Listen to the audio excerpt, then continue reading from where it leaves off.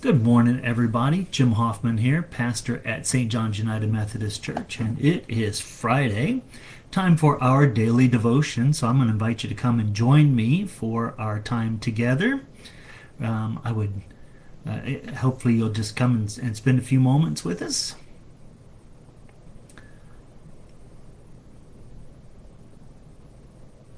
I'm going to wait for a couple minutes and just see who all joins today. As you do, if you want to leave a quick comment, let me know that you're present. That would be wonderful. Would love to know that you are here.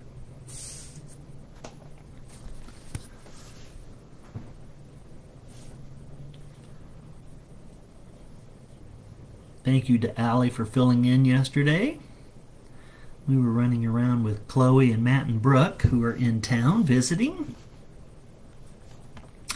They're leaving tomorrow to go home to Ohio, so having fun with them today.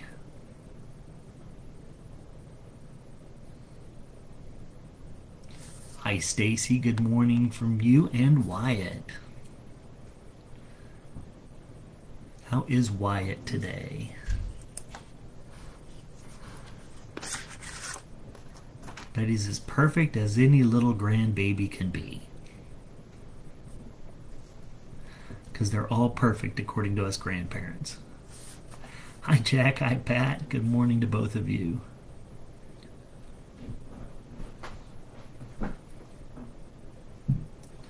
We're going to be reading out of Joshua chapter 1. So if you want to find that, Joshua chapter 1 is where we'll be reading today. First nine verses. Morning, Mr. Dunbar. Glad to have you here today.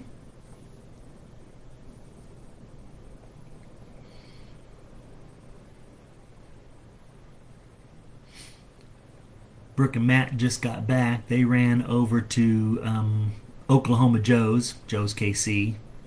Um, that's one of their favorite things to do while they are in Kansas City is to go to Joe's. That's probably one of their favorite barbecue places here in town. So they brought us back some lunch. So I'm going to have a burnt end sandwich on a gluten-free bun. Hi, Barbara. Good morning to you. Glad you're here today.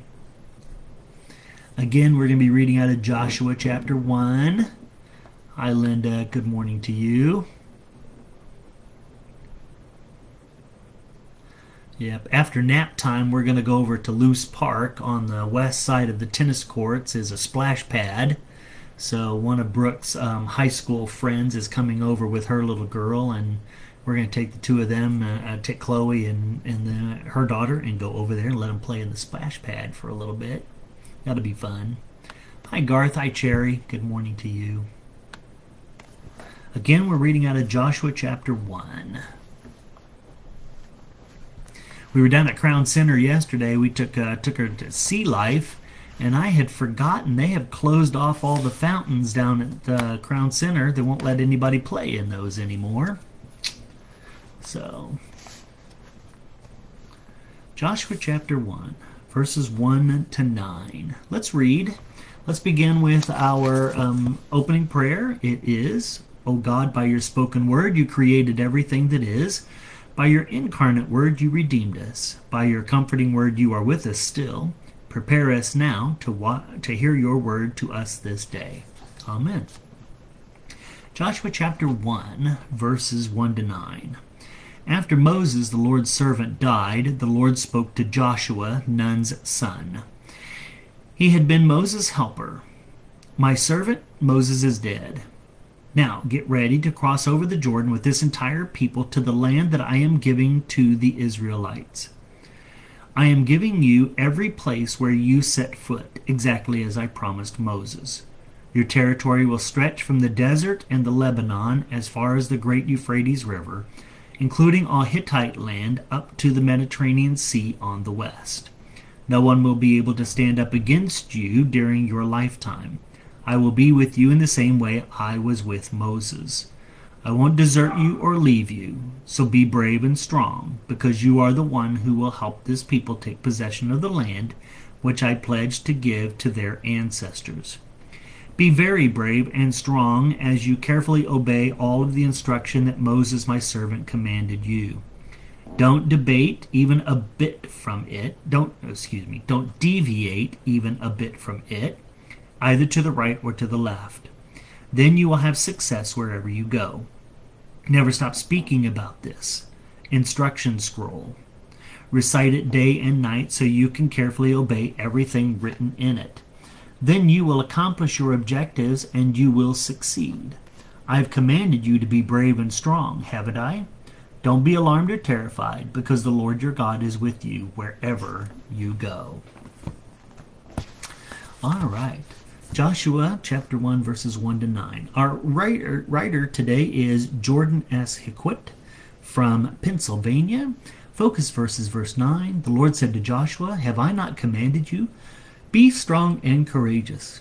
Do not be afraid. Do not be discouraged, for the Lord your God will be with you wherever you go.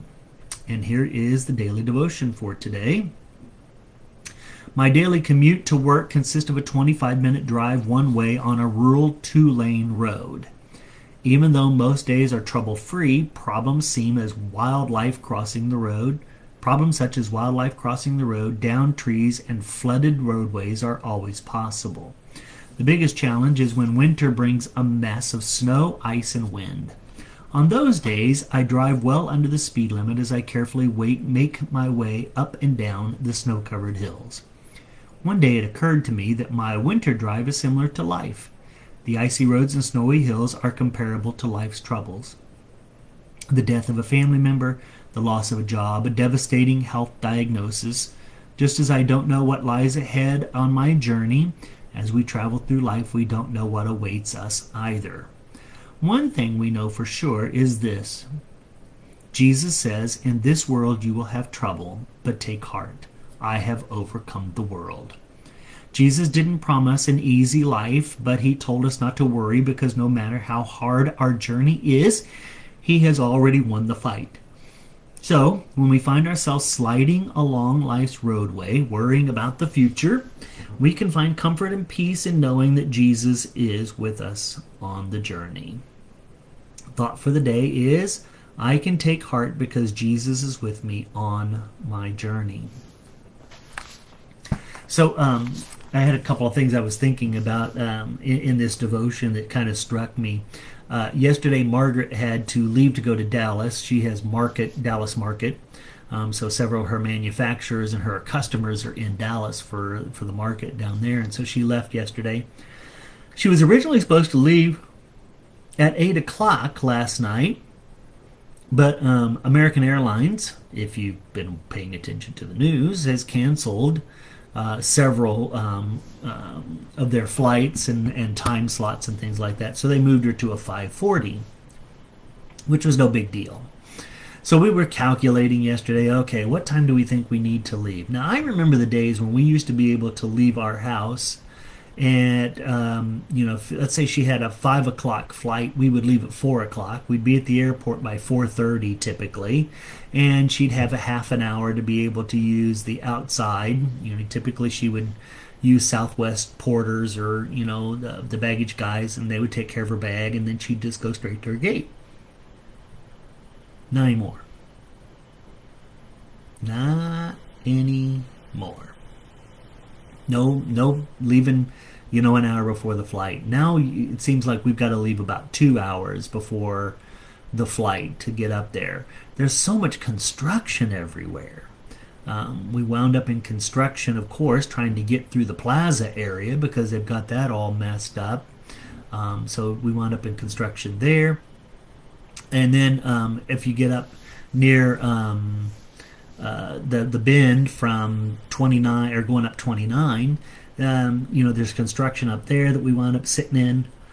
So, needless to say, we got to the airport. Our requisite 30 minutes before her flight. American's not Southwest. She had to go inside. She had to get to a terminal. She had to check in her bag. Something was wrong. It wasn't responding. It was really slow. And needless to say, she calls me and says, Come back and get me. So I had to turn around. And in the meantime, I thought, well, you know, if, if that's the case, She was going out on American. I said, "Why don't you just check on a Southwest ticket?" They had a Southwest ticket. She needed to be down there last night. Otherwise, she was going to have to leave at six o'clock in the morning this morning, which meant she was going to be up at three fifteen, and I was going to be up at four. No. So she took another flight out of South, um, the Southwest flight last night, made it down to Dallas just fine. Blah blah blah blah. So you think about some of the things that you come across in life that are just kind of roadblocks, unexpected. You know, the things that are going to delay you, impede you. Um, they're going to create kind of a, a headache for you, right? several years ago, I mean, it's been seven years ago, I believe, when um, Brooke decided she wanted to go to college in um, Ohio. I drove her out there for college. Now, this was mid semester, so it was January that I drove her out there. And that was the year we had that really bad ice storm that went all the way east across I 70. And it was like, you know, this much ice packed on the road all the way. I mean, that's the year that they had semis and cars just scattered on the sides of the road and stuff like that. We did 35 miles an hour going across there. That's a 750 mile trip at 35 miles an hour.